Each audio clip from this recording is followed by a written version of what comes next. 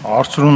Մարտունի Միրզոյանը ծնվել է 1972 թվականին Ստեփանավանի շրջանի Հոբարցի գյուղում։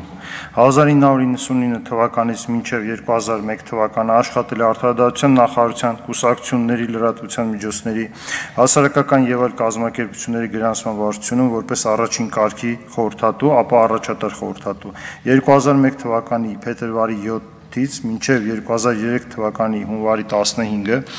աշխատել է Արտադրության նախարարության պետական ռեգիստրի վարչության հասարակական միավորումների ոչ առևտրային իրավաբանական անձանց միությունների